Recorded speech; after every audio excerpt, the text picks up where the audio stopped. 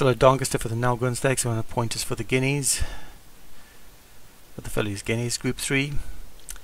For three yells, one is Cassis Altus, Darren Thompson, two Estrelina, Craig Allen, three Ghost Town Cat, John, four is Kiosa Nutmeg, Vinnie Gerard, five Roma Cavalry, and six Tobago. Only six runners, yeah? It's a small field.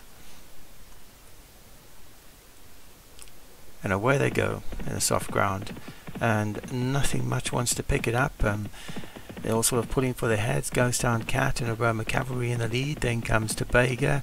Uh, behind that is Casas Ultras and Estrelina and Gyoza Nightmare, the trailer. But they're all hard held. Yeah, nothing really wants to lead. So pretty slow pace and probably going to turn into the sprint at the finish. So Aroma Cavalry, the reluctant leader from Tobago in second. Then comes Casas Alba behind that. On the outside, that one is John's uh, Ghost Town Cat. Uh, Craig Hams's Estrelina behind that, and the trailer for Vinnie Gerard is Giosa Nightmare in this very slow run race.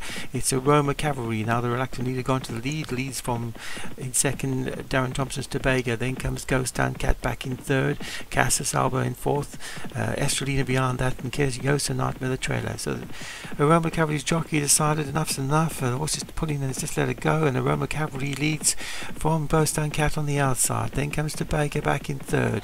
Uh, Cassis not be pushed along to improving. Kiosa Nightly on the outside and right at the back pushed along is Estrelina.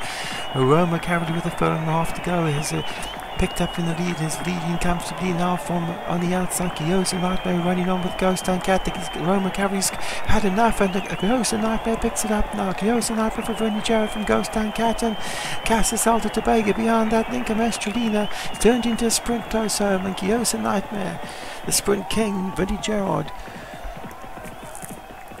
wins that. Gyosa the Nightmare, the winner. Ghost and Cat, John back in second. The third was Darren Thompson, Cassis Altus, Estrelina, was Craig Allen back in fourth, then Tobago, and Aroma Cavalry finished last.